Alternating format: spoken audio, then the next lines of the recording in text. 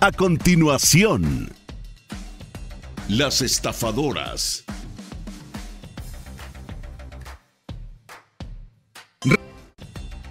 Estás viendo las estafadoras.